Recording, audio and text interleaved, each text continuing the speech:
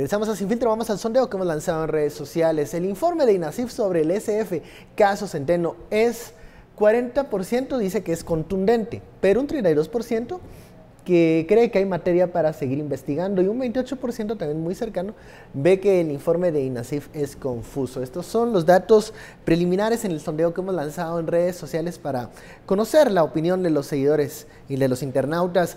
Eh, bueno, Hoy, como le decíamos al inicio, eh, la familia de Pavel Centeno dio una conferencia de prensa donde planteaban sus argumentos, sus dudas respecto al informe de INASIF y la información que ha dado el Ministerio Público. Estas son algunas de las declaraciones. Todos vieron a Pavel caminar hacia la esquina portando su arma en la mano derecha, mientras se seguían escuchando los balazos.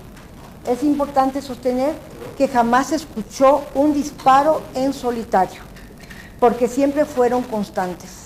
La pistola que Pavel utilizó en el último disparo no arrojó el castillo, pero jamás se nos presentó el procedimiento en el cual se extrae el, cascadillo o castillo del arma. Inicialmente se consignó que el trayecto del plano coronal fue de atrás hacia adelante y luego se modificó y eh, respondieron que era de adelante hacia atrás. Lo que está declarado y lo que aparece en los registros que recogen hechos, indicios y pruebas no son para nada coincidentes. Son las declaraciones de Mayarí Centeno, hermana del exministro Pavel Centeno. Él daba a conocer pues sus eh, dudas, las justificaciones de por qué cuestionar el informe de INASIF y la eh, conclusión que ha, dado el Ministerio Público. Antes del corte, Daniel decía, bueno, si no fue un suicidio, entonces ¿qué, qué se plantea que pudo haber sucedido, Estuardo? ¿Qué, ¿Qué pudo pasar ese día en ese allanamiento donde al inicio hubo una información confusa, al inicio se hablaba de, que era una orden de captura, luego se supo que... No era él a quien buscaba. Iba por alguien más. Eh, si no fue suicidio, ¿qué sucedió? ¿Qué pudo haber pasado? Mira, yo igual tengo, igual que creo que todos los guatemaltecos, si sumas ahí eh, las dudas y los que piden investigación es 60%, ¿verdad? Solo en un, sondeo.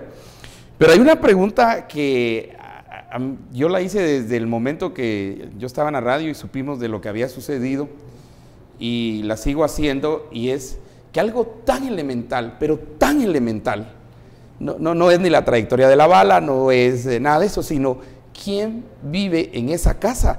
Eso es algo como en investigación pues, eh, parvularia, pues, ¿verdad? Determinar quién vive en esa casa. O sea, no estoy hablando ni de la INASIF, ni nada, sino de algo tan sencillo. ¿Por qué no se hizo? E, esa, esa sería, por ahí principiaría yo la pregunta, ¿verdad? y de determinar quién sí vivía en esa casa. Un primer error, digamos, señalar un primer error. Sí, porque a quien buscaban era al, al que era presidente o, director de un banco, ¿verdad? El jefe, gerente general de, un, banco y una financiera, ¿verdad? una cosa es buscarlo, otra es ver las propiedades. Y yo no puedo entrar, digamos, si entran a un, ponen mi nombre y entran a una propiedad, yo no vivo en esa propiedad en Chimaltenango, por ejemplo.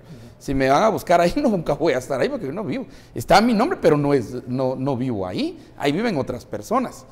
Entonces, en un elemental caso de investigación, tendría que saber yo por qué he hecho la inteligencia, por qué he hecho, he observado, por qué he estado, porque el caso es un caso enorme, saber quién vive ahí. O sea, es muy elemental. Y yo principiaría por esa pregunta, que parece sencilla y tonta, pero ¿por qué no se hizo? ¿Qué tiene no sé hasta qué punto tiene que ver con el incidente en sí mismo.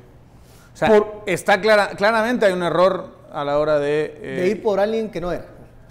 Eso no bueno, van detrás de una casa que es de una persona determinada que sí estaba eh, en, en, Pero están persiguiendo a una persona en una casa.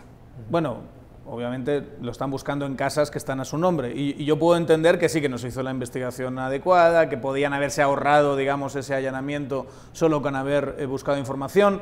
No sé, habría que preguntar hasta qué punto también estaban buscando otra clase de documentos, otra clase de, pruebas en ese allanamiento. A lo mejor, y esto también hay que, preguntarlo en más profundidad, es eh, simplemente protocolos de agarrar cuando vas detrás de una serie de personas es ir detrás de todas las propiedades que sabe que tienen porque ahí es donde pueden ocultarse ellos o ocultar pruebas. y que de cualquier manera esas cosas eh, eh, se hacen, pero ¿qué tiene que ver eso con el incidente en sí mismo? O sea, ok, pudo haber un error, contemplémoslos, pero ahora volvamos otra vez a qué es lo que vemos en el video. Una vez más, puedes dudar de la prueba en sí misma. Hay algunos tuiteros que están diciendo que, que el video lo hizo el del FIFA 2016 y, y, y cosas así. Yo, sinceramente, yo, yo creo que ahí o, o eres, o eres eh, capaz de presentar hipótesis y pruebas alternativas o esa clase de afirmaciones valen Sí, no, no, no, francamente eso no poco. cuentan, no, ¿Qué no. es lo que sí se ve? Se ve a un Pavel Centeno armado. Ya reconoció, además, eh, la hermana que sí tenía un arma de, hace, de hacía eh, muchísimo tiempo, completamente agitado, disparando, no sé si al aire o no al aire, pero se le, se le ven esa clase de aspavientos y huyendo de la, de la- de la policía. Y cuando se ve que en el video hace el giro y van como 15, 20 segundos después los policías detrás de él, cuando el primer policía gira, se ve que se ralentiza. No se ve que, tenga, una, tenga una postura de tensión. Se ve como que hace así y llegan los otros policías, miran y se quedan todos parados. Esa no es la actitud de alguien que está disparando a una persona y lo está ejecutando extrajudicialmente. Y desde luego, ¿qué sentido tendría ejecutar extrajudicialmente en un allanamiento a una persona? Es que por eso tenemos que utilizar la navaja de Ockham y ver cuáles son las, las- las- las posiciones de las que estamos hablando aquí y de qué exactamente estamos hablando. Agujeros en la investigación, mala investigación, testimonios Mal confusos, mal procedimiento, todo eso puede ser verdad y de verdad algo como un tiroteo siempre va a ser confuso. Pero vamos, esto está sirviendo para que algunos grupos, y esto yo creo que es el meollo de la cuestión, De eso vamos a hablar. ayuden, o sea, quieran desprestigiar a MP y especialmente a CICIG. Y están siendo, en ese sentido, completamente irresponsables.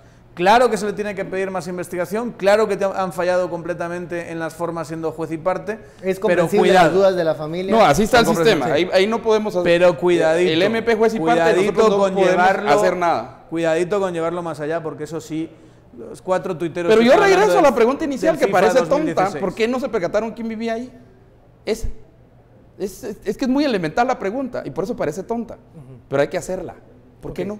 Sí, porque no se percataron y la, el incidente que luego fue violento, que luego vemos las imágenes de Pavel, ¿qué pasó en ese interim en donde trataban de hacer un allanamiento y bueno, la reacción del exministro que vimos en el video y que muchos compañeros de la prensa pues también relatan desde afuera lo que escuchaban, lo que podían ver en ese momento. O sea, hay, hay, hay momentos que uno dice, ¿qué sucedió?